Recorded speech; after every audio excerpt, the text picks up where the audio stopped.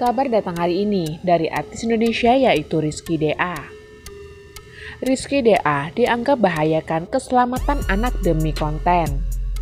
Penasaran dengan videonya? Sebelum nonton video ini, jangan lupa tekan tombol subscribe dan aktifkan loncengnya. Rizky DA membuat heboh netizen lewat video terbarunya bersama sang anak PHK Syaki Ramadan yang diunggah ke Instagram. Dalam video itu, Rizky terlihat menggendong putranya yang belum genap berusia 5 tahun untuk membuat konten ala pengguna TikTok. Konsep video itu mengharuskan pembuat menempatkan wajahnya tepat di sebuah bingkai yang terus bergerak. Apabila tidak tepat, maka wajah pembuat video tidak akan terlihat dalam bingkai berbentuk persegi tersebut lemesin aja at PHK Syakir Ramadan tulis Rizky DA.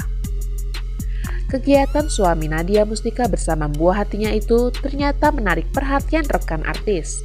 Salah satunya adalah Iis Dahlia. Ribet ya, kata Iis Dahlia. Akan tetapi, netizen justru beranggapan bahwa Rizky telah membahayakan keselamatan bayi Haki sebab sang anak masih berusia belia. Hati-hati ya kalau megang anaknya bang, bahaya itu kalau jatuh. Ditahan pun sakit dadanya itu, kata netizen. Demi konten, anaknya cuma nggak ngomong aja gitu, sahut netizen yang lain.